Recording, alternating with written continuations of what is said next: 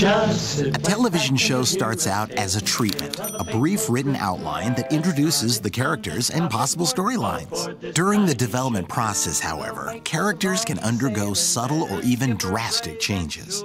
We've uncovered the original treatment for Gilligan's Island that Sherwood Schwartz presented to the networks over 40 years ago. Here's a chance to discover how the cast of the ill-fated SS Minnow evolved into the world's most famous castaways. According to Sherwood Schwartz, Gilligan was always meant to be a walking accident whose assistance on a project would virtually guarantee its failure. In the treatment, however, first mate Gilligan wasn't a mighty sailing man at all, but rather an ex-Navy cook who knew nothing about the sea. He neglected to tell the skipper this fact because he desperately needed a job. And here's the answer to a question that has stumped fans for 40 years. What is Gilligan's first name? In the treatment, it's written in black and white for all to see.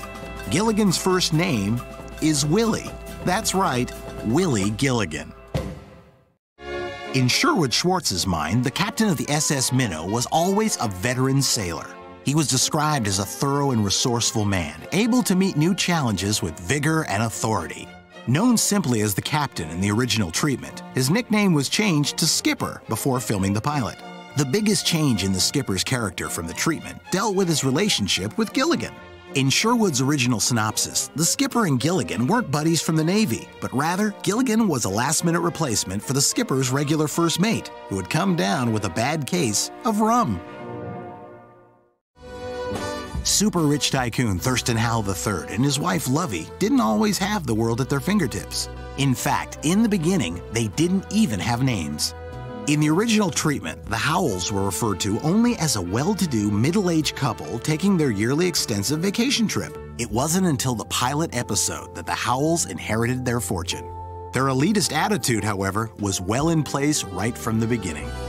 In the treatment, Sherwood wrote, It's only a matter of time before Mr. and Mrs. middle aged couple form a country club on Gilligan's Island, and you may rest assured that they will be the only two who will be able to meet the membership requirements.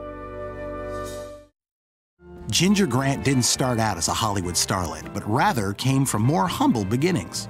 She was first conceived as a secretary who had saved her salary to afford her a trip aboard the SS Minnow. Sherwood Schwartz originally described Ginger as witty and bright with a very realistic, sometimes sarcastic attitude. After the pilot, Sherwood decided a character change was in order and transformed the wisecracking secretary into the voluptuous actress and nightclub singer that the world has come to know and love. Roy Hinkley, better known as the Professor, changed careers twice before he became the resident genius on Gilligan's Island. In the treatment, the professor was actually a writer who was traveling on the SS Minnow in order to find an authentic island atmosphere for his new novel.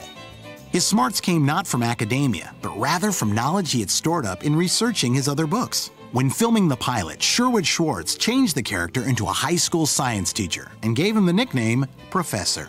It wasn't until the series finally went to air, however, that Roy Hinkley graduated into a full-fledged college professor, research scientist, and scoutmaster. Before she became the wholesome store clerk from Winfield, Kansas, Mary Ann Summers had another occupation, and a different name for that matter. Like Ginger, Mary Ann was originally envisioned as a secretary. Known as the first young lady in the treatment, and as Bunny in the pilot episode, her character was described as blonde, not terribly bright, and quite innocent about the feminine charms she possesses. When the time arrived for Gilligan's Island to go to series, however, Sherwood Schwartz decided to alter the character. Bunny became Mary Ann, as the ditzy secretary developed into the down-to-earth girl next door and creator of countless coconut cream pies.